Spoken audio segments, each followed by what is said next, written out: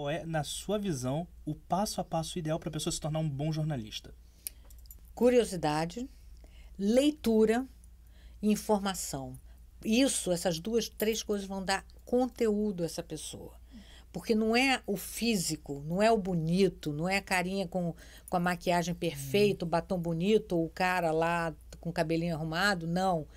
É a informação. É mais importante que o brinco da mulher, é a informação. A, a notícia não é o repórter. A notícia é a notícia, é o fato. E isso que as pessoas têm que ver hoje em dia.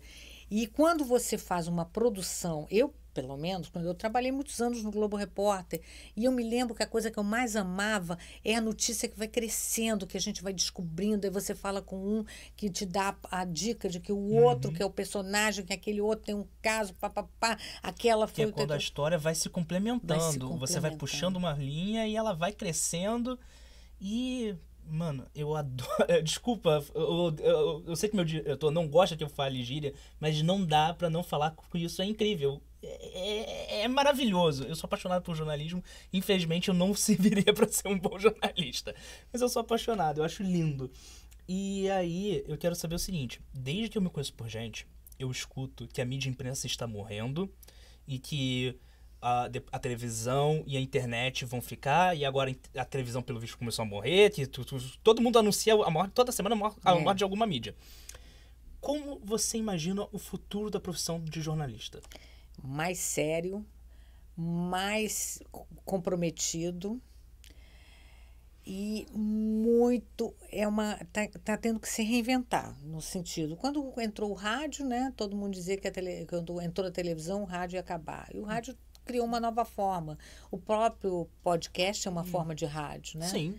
Então, as linguagens são diferentes. Eu, a, a televisão hoje está buscando uma nova linguagem que acompanhe com a internet. Porque a gente, quando pensa em televisão uhum. e em rádio, etc., tal, a gente pensa só em Rio e São Paulo. É verdade. Mas o Brasil é muito grande. Você vai ao Acre, uhum. não tem TV a cabo, eles ainda usam TV, então uhum. não sei se vai ter muito, se vai acabar logo. Mas ele, a televisão está buscando essa linguagem. Eu acho que ela está tão perdida quanto todos nós telespectadores e quanto ela tá nós no momento de se reencontrar. Se reencontrar. Não acho absolutamente nada vai acabar vai se vai estar tá se transformando, está uhum. mudando do mesmo modo que o rádio mudou, mas que hoje até hoje a gente liga para ouvir música. Eu estava quando cai o meu uhum. Meu Bluetooth lá, eu fico ouvindo rádio e a gente ouve uhum. rádio. Então mudou. A televisão, eu às vezes vejo novela na televisão, ou então quero ver o jornal para ver o resumão, embora eu veja toda hora na internet alguma coisa, mas eu quero ver o resumão. Uhum. E tá, ela está tentando se descobrir, está querendo sobreviver nessa loucura que está. E o jovem jornalista, o jovem que está procurando essa profissão, e que as pessoas dizem assim, ah, o mercado está difícil. Não. O mercado também está se transformando. E é um mercado que os jovens têm que entender cada vez mais tem que estar tá preparado, tem que saber línguas, tem que estar tá antenado.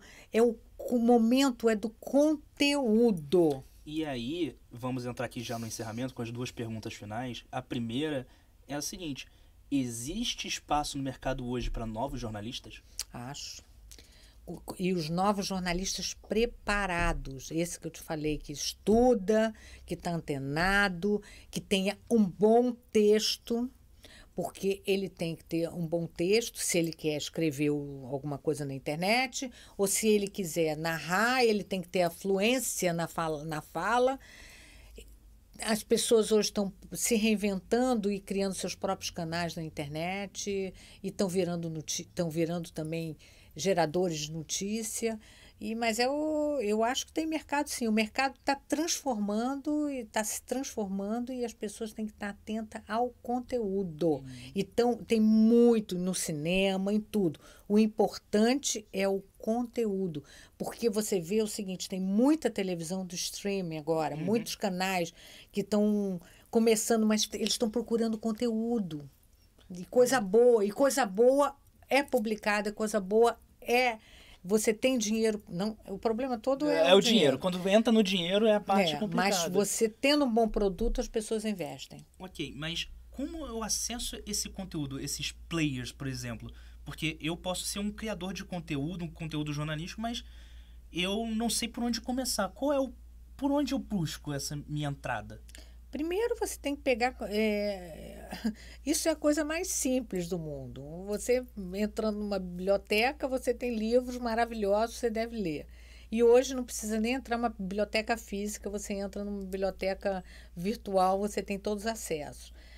É, você procurar sempre buscar grandes é, empresas, grandes organizações para se informar uma BBC de Londres, uma, uma televisão brasileira que tenha conteúdo, porque hoje o discernimento do que é bom, você faz, a, sua, a conclusão é sua.